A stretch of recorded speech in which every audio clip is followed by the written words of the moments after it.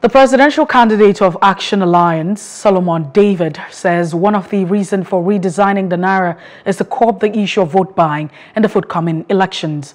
He also mentioned that an exclusive chat with our correspondent in Benin.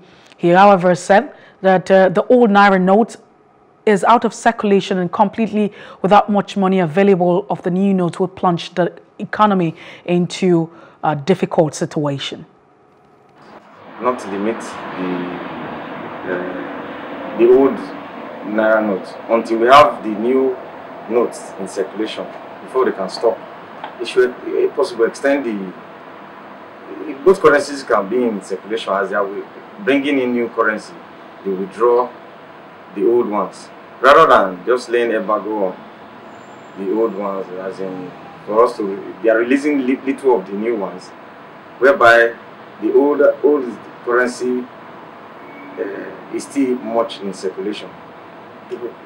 So I believe they should maybe give some time. They are not being in government. So those in government might want to use their the funds from the government. And most of them don't go to the bank. So they, they make use of these funds for during elections.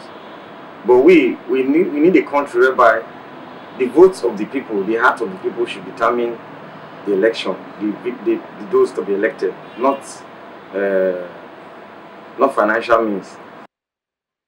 Hello, hope you enjoyed the news. Please do subscribe to our YouTube channel and don't forget to hit the notification button so you get notified about fresh news updates.